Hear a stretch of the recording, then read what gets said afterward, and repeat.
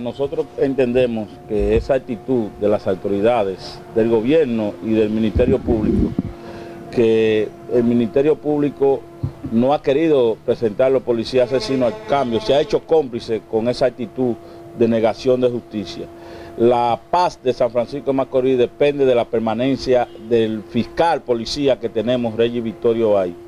Si no lo destituyen, este pueblo continuará en la calle. Pero no solo que lo destituyan, sino que si no se construye el hospital de especialidades, que lo han anunciado tantas veces y que iniciando este año eh, hicieron hasta rueda de prensa para decir que se iba a construir, ya vamos por el mes 4 y no se inicia. Si no se construye la Plaza de la Cultura, la carretera San Francisco Macorís Río San Juan, la Cañada Grande, si no se construyen las calles y las aceras, los sectores populares y las organizaciones, si no se instala el circuito 24 horas, San Francisco de Macorís se convertirá en un pueblo de lucha, de movilización, radicalizándola a cada momento. El movimiento popular franco macorizano inició la protesta, las movilizaciones sorpresa, en busca de que aquí el señor fiscal sea destituido.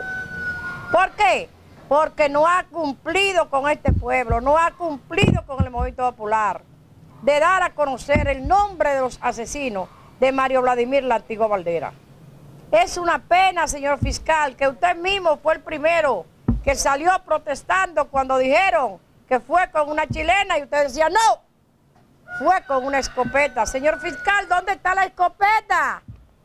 Que usted mismo anunció al pueblo de San Francisco de Macorís. Da pena que personas como usted, que se lustran de que son buenos, que son excelentes, hoy no puedan dar una respuesta a este pueblo. Y también hacerle un llamado a los funcionarios que ellos son los únicos responsables de que este pueblo se movilice, de que este pueblo se levante y de que este pueblo llame a huelga.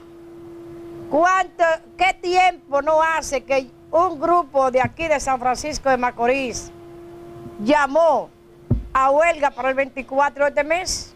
¿Y quiénes lo han llamado a dialogar? Entonces nosotros como Movimiento Popular todo el tiempo, y muchos de los periodistas nos dicen, ¿y cuántos años tiene esa demanda, por ejemplo, la Cañada Grande? ¿Cuántos años no tiene el Hospital Regional Materno Infantil? Porque aquí no hay un hospital especializado. ¿Cuántos años no tenemos llamando a que ese mercado sea sacado de ahí del centro de la ciudad? De la de la Plaza de la Cultura. Señor Presidente de la República, usted nunca ha querido construir aquí. Señor Gobernador, señor Alcalde, vamos a trabajar con los sectores y comunidades.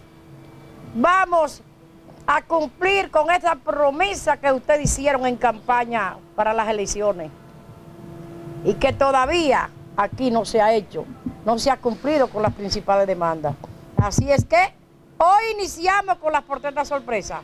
Seguirán día tras día, el día que ustedes menos lo esperen, ahí estaremos en las calles, encendida, porque San Francisco de Macorís no le tiene miedo ni a fiscal ni a policía.